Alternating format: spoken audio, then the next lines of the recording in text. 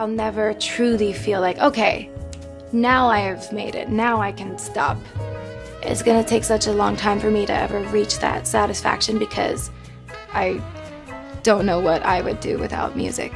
I'm very grateful to be here, and that kind of overpowers any of the negative elements that come with fame, I guess.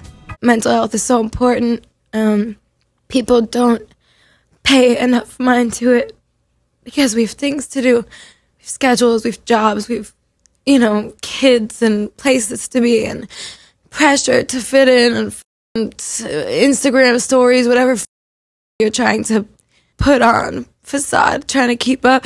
People don't pay attention to like what's happening inside. How are you? I'm good. I'm good. Nice to see you. You too. Would you like anything from White Coat? No, thanks.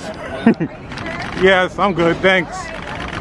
All right. There's always so much focus on physical beauty, and there's this standard that's set so high nowadays of like what it means to be pretty or what's beautiful or like what type of body is in or out or like you know you see it on the cover of all these magazines it's like Kim Kardashian gained weight I'm like she's pregnant good like I just got here a little while ago and I was like, what's JoJo saying now? I think you were asking Fifth Harmony at the time um, if they had boyfriends. That might have been Jess doing that And one, I, yeah. oh, it was uh, you. yeah. Yeah, I yeah, was like, yeah. can't you just let the girls sing? I can't. I was like, why I do you always never gotta can. tag Just let them to a work. man? You know what it is? And and there's one song on at the end of the album called "Get Well Soon," Yeah. and there's 40 seconds of silence. Yeah. At the end of the song, I wanted to, uh, like, kind of subliminally honor the Manchester victims. I wanted to make the length of the song five minutes and 22 seconds, just as like a little way to celebrate and honor them and their lives and stuff. Sometimes you'll go like weeks at a time where you'll be like crushing it and there'll be no anxiety, like you're fine, blah, blah, blah, blah, blah. And then something will happen that can trigger it. And then you have like a couple of down days, you know? Just, you have your ups and downs, but the most important thing is to remember that you're the least alone. Everybody has this and talk to your loved ones, reach out to people, especially your friends online, like reach out to each other.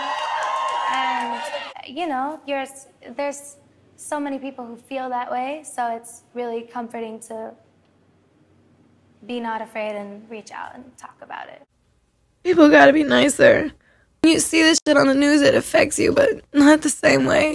You feel bad, you tweet it, you post a picture, you send your condolences, you say something, and then you move on, you know.